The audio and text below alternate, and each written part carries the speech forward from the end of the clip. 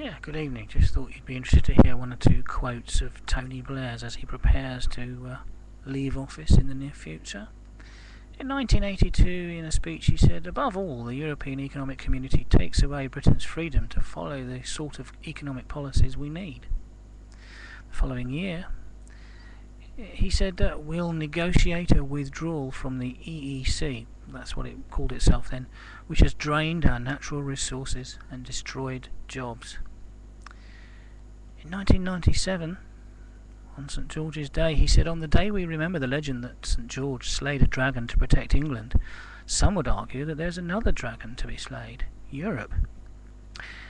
And in 2005, he said, I'm a passionate pro European.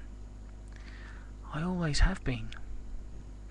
Now, he wouldn't be the first uh, person, first Prime Minister of, of uh, Britain to utter a uh, terminological inexactitude about the EU. I mean, why couldn't he say, um, I'm a passionate pro European, I never used to be, but now I am, I've been converted?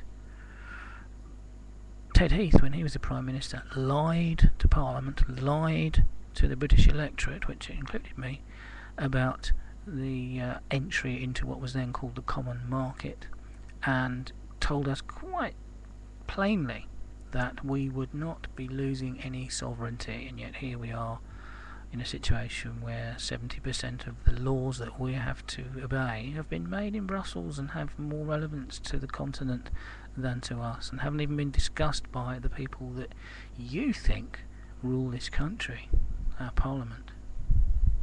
We need to get out of the corrupt European Union.